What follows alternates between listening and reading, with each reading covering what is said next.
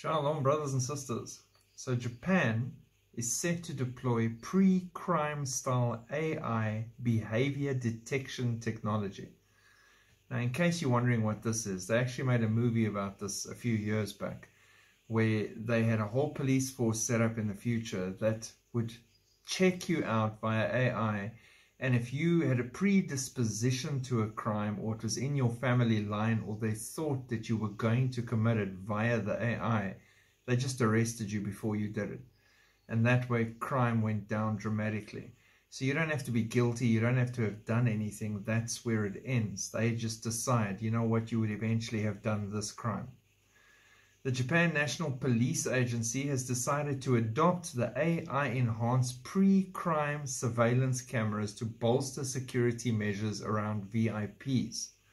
According to Reclaim, the step comes in response to the commemoration of the shocking assassination of Prime Minister Shinzo Abe and the rising threats posed by what the government called lone offenders. Notably, the effectiveness of such technology in monitoring abnormal behavior and providing better deployment of police officers has been endorsed and by counter-terrorism expert at the Tokyo-based Council for Public Policy. The National Police Agency plans to carry out tests on these AI integrated cameras in the current year, set to conclude in March 2024. The cameras are capable of behavior detection and facial recognition.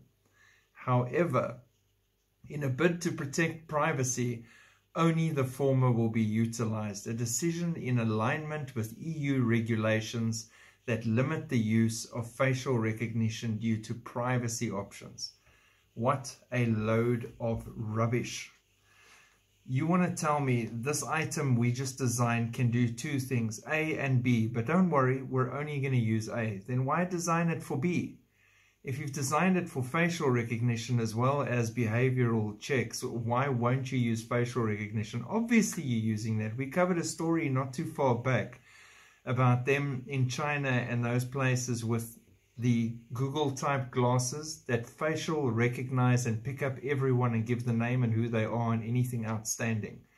So if they're using that already, why wouldn't they use the facial recognition part? Because that's going to be a huge part of the beast system and I don't want you to freak out just yet.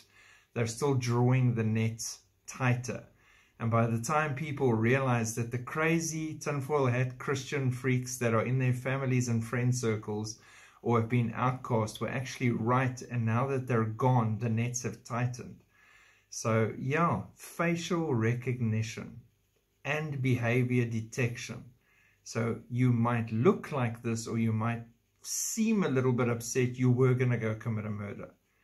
It's going to be a fun place for the next seven years. I'm just glad I don't have to be here. God bless. Keep looking up. Shalom.